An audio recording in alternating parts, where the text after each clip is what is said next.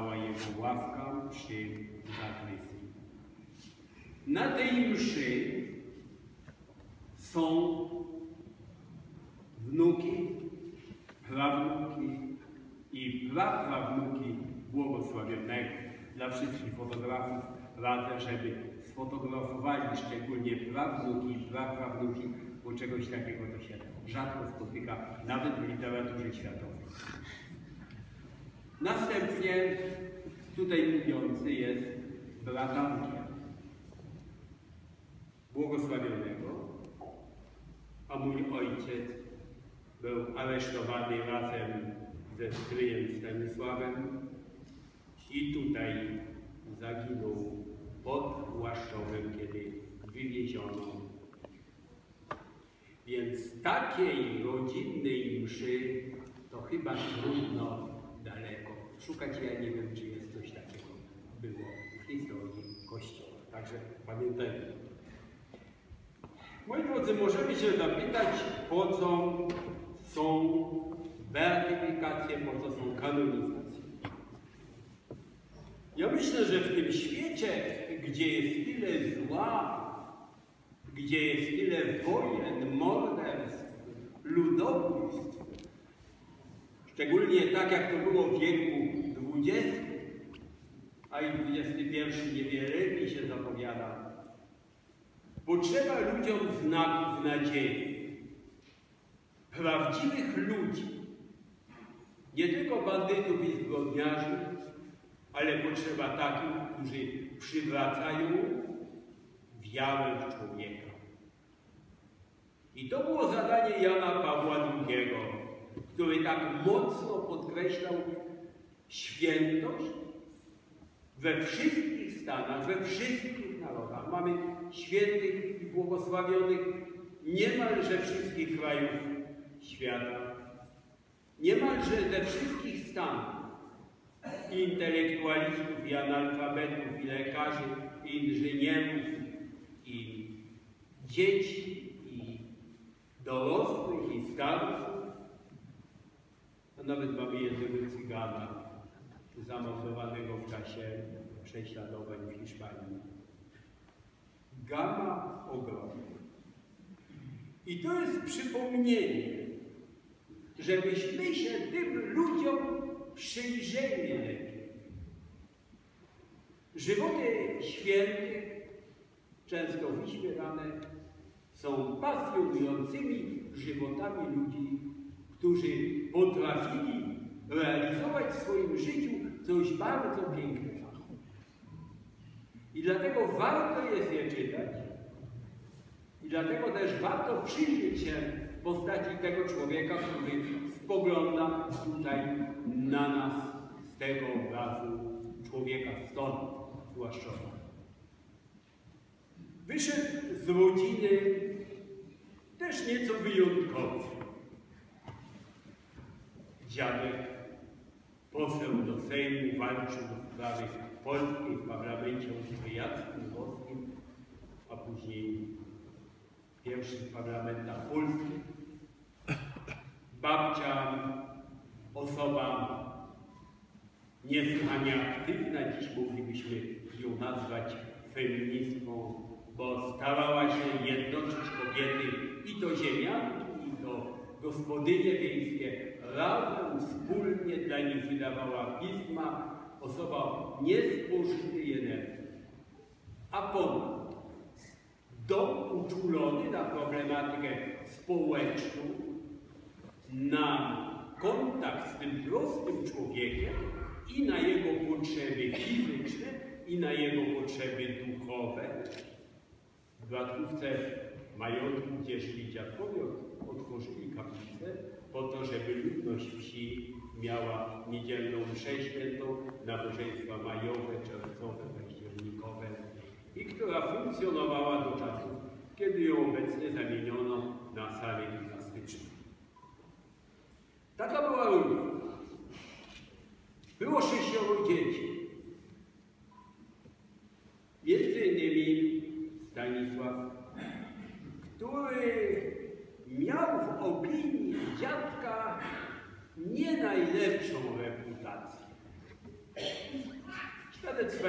Są najlepsze, delikatnie mówiąc. W przeciwieństwie do starszych braci dziadek narzekał, że jest permanentnym bałaganiarzem, a zamiast uczyć się słówek greckich zajmuje się końmi i polowaniem. Dziadek łapał się za głowę i mówił, co z tego chłopaka wyrośnie. I pierwsza próba przyszła w 14 roku, kiedy po maturze został e, zmobilizowany. Najpierw walczył w armii austriackiej pod Piawem, w strasznych, krwawych walkach. Następnie organizował polską armię w 20 roku. Brał udział w kampanii kijowskiej i osłaniał ze swoją baterią odwrót.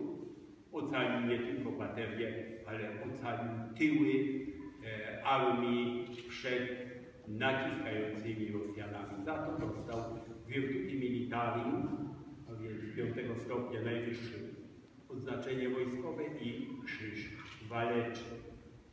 A zyskał sobie zarazem sympatię żołnierzy podkomendnych, którzy uwielbiali swojego dowódcę. Później przyszła choroba, a później przeszedłszy krótki kurs rolniczy, ożenił się tutaj właśnie w Mariu Szeptycku i osiadł w Łasztowie. I oto zaczyna się epoka łaszczowska. Epoka łaszczowska wyjątkowo piękna. Dlatego, bo okazało się, że dziadek totalnie się mylił. Okazało się, że ten człowiek, którego się wydawało taki rozbałaganiony, potrafił przywrócić tym majątkom zdewastowanym przez y, armie rosyjskie, nie austriackie, polskie, bolszewickie. Przecież tu był teren, gdzie armie spacerowały w te i we Potrafił w szybkim tempie tym majątkom przywrócić rentowność i nie tylko im, ale swoim kolegom, ziemianom z okolicy, którzy sobie nie bardzo radzili z, z gospodarstwem, potrafił doradzić i pomóc. Ale ciekawa była jego, jego argumentacja. On mówił, naszym obowiązkiem jest dać ludziom pracę. Naszym obowiązkiem jest stworzyć miejsca pracy. Nie tylko robić pieniądze. I to ciągle przypominam. I czuł się zobowiązany za tych ludzi, z którymi pracował. I co więcej, gdy w 1939 roku radzono mu, by się stąd wyniósł i uciekł do Rumunii, powiedział, z tymi ludźmi tutaj żyłem, z tymi ludźmi pracowałem, dawałem im sens życia ja nie zdradzę. I został, choć wiedział, że będzie ciężko. Drugą rzecz charakterystyczną w, tym jego, tej jego pracy była sprawa pieniędzy. Był człowiekiem bardzo zamożnym. Żył skromnie. Nie pozwolił odbudować pałacu spalonego przez kozaków, ponieważ powiedział, że w kraju, gdzie jest tyle on nie będzie urządzał pałacu i zamieszkał w budynku administracyjnym. Niestety go nie ma, i tak naprawdę mówiąc o gorzej, trudno jest znaleźć ślady. Ksiądz proboszcz mu tylko pokazał ślady. I prawdę mówiąc, nawet nie ma tabliczki, gdzie przyjeżdżający nawet nie wiedzą, gdzie mogą zobaczyć dom, w którym żył błogosławiony. W domu było skromne życie, ale na wykształcenie dzieci nie szli w najlepszych szkołach uczęszczali do najlepszych Pieniądze, jak uważał, nie są wartością samą w sobie. Pieniądze mają na tyle wartość, ile służą drugiemu człowiekowi. To jest najpoprawniejsza nauka katolicka o, na temat pieniędzy. Mają służyć ludziom. Po to się je. Oczywiście na pierwszym rodzinie, później innym ludziom. I wobec tego, kiedy przeszedł do swojego wielkiego tematu życia, mianowicie zmobilizował zróżnicowanie tutaj ludzi w okolicy, przecież to była Polska oddalona od centrum, on postanowił zaktywizować ludzi świeckich. On dobrze wiedział, że Kościół nie funkcjonuje tylko księżni, ale funkcjonuje również współpracą z ludźmi świeckimi i jedyną sensowną formą jest, kiedy ksiądz żyje i współpracuje z ludźmi świeckimi. O tym jeszcze dzisiaj o tym mówimy, ale o tym wtedy w Polsce nikt nie mówił. Jeszcze akcji katolickiej nie było w Polsce, a on tutaj rozpoczął jeden z pierwszych w Europie działalność na całą parę wciąganie ludzi świeckich. Po pierwsze, danie im wykształcenia religijnego, po drugie, wciągnięcie ich do pracy nad budowaniem Królestwa Bożego tutaj na ziemi. I zwróćcie uwagę, to nie było tak, jak się często robi, organizowanie, robienie organizacji, tylko on najpierw te organizacje przygotowywał rekolekcjami.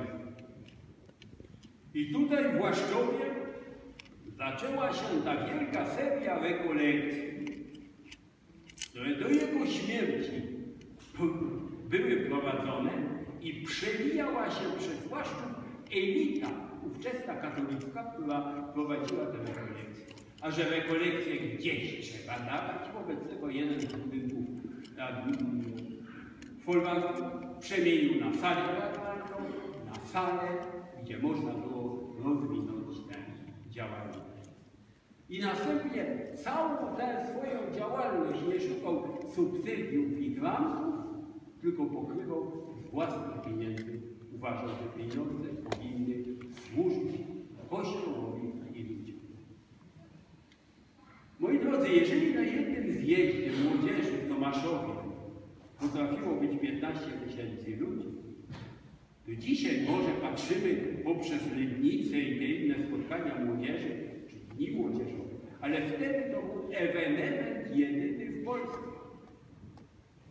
I pamiętajmy o tym, że kiedy zdecydowano się w Polsce wprowadzić akcję katolicką, to już taka quasi akcja katolicka istniała tutaj w dawno przed tym. Łaszczów wyprzedził całą Polskę, a wyprzedził chyba też wiele krajów organizacji. Czy my sobie z tego tak zdajemy sprawę, z tej wielkości tego, co się działo. I kiedy kiedyś, to było w 2000, 2008 roku, byłem w Rzymie i kiedy wszedłem na plac Świętego Piotra, zamurowano. Wisiał ogromny portret stryja o taki dużo większy od tego, wisiał na, na, tej, na tej pięknej galerii Bebuniego przy 14 innych postaci. Pytam się, co to jest. A była, był Dzień Akcji Katolickiej, mówią mi, i Akcja Katolicka wywiesiła tych wszystkich najbardziej reprezentacyjne, najpiękniejsze postacie, które wydała Akcja Katolicka. Wśród nich był Stanisław Starowiejski. Dzisiaj powiedzielibyśmy, wygrał w rankingu światowym. Tutaj organizował, tylko tak prawdę mówiąc i do dzisiaj w Polsce nie zorganizowano dobrze, rozdział prasy katolickiej. On kładł nacisk na dotarcie z prasą katolicką do szerokich mas czytelniczych. Ojciec Maksymilian chciał tutaj zrobić nawet centrum, ale warunki komunikacyjne nie pozwalały. Kładł na to nacisk. Na czytelnie, na czytelnictwo dobrej książki religijnej. Ale nie poniekał sprawy indywidualne razem z księdzem Majem i swoją żoną, proboszczem tutejszym, pomagali wszelkiej biedocie, która tutaj była, obojętnie kim była ta biedota. A przecież wiemy, że tu jest ziemia bardzo zróżnicowana, są i Polacy, są i Ukraińcy, byli Żydzi, byli katolicy, grekokatolicy, prawosławni, Żydzi. Dla niego to było najzupełniej obojętne. Przychodził człowiek, potrzebował.